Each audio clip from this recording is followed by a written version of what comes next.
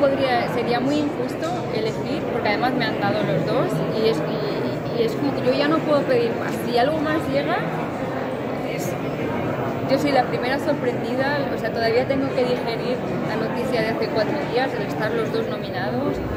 Para nada espero ganar hoy, o sea, para nada. Yo creo que lo de Javier está bastante claro, pero yo creo que este año no me toca a mí. Y me han dado tres de los años que tengo, como yo no puedo